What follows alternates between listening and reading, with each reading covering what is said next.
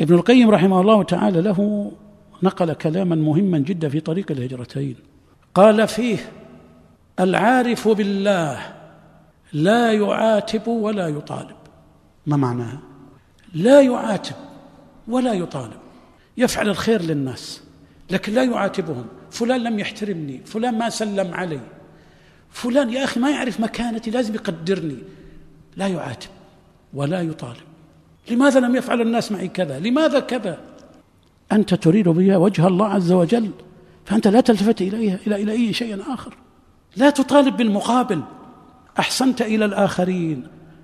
اهديت لهم نفعتهم علمتهم درستهم دعوتهم إلى الله. كان لك أثر طيب.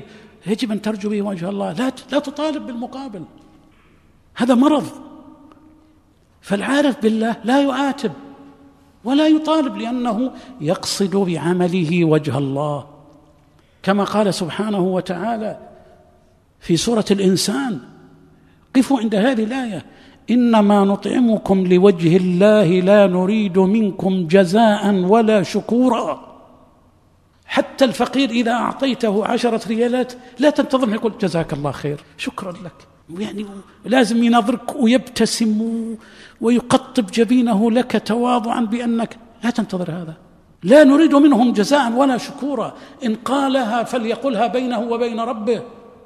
لكن أنا لا أنتظر منه هذا الثواب. أنا أريد وجه الله عز وجل.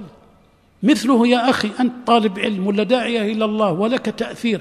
يا أخي لا تطالب الناس. ما فعلوا معي؟ لا يحترمونني. المفروض لهم كذا. ما استقبلوني. ما كذا. يا أخي المؤمن يسعى في عمله يريد به وجه الله عز وجل.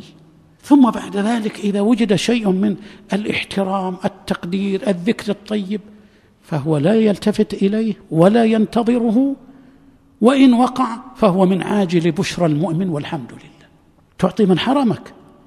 أخيرا تعفو عن من ظلمك. وهذا هو الباب العظيم. أساء إليك تعدى إليك.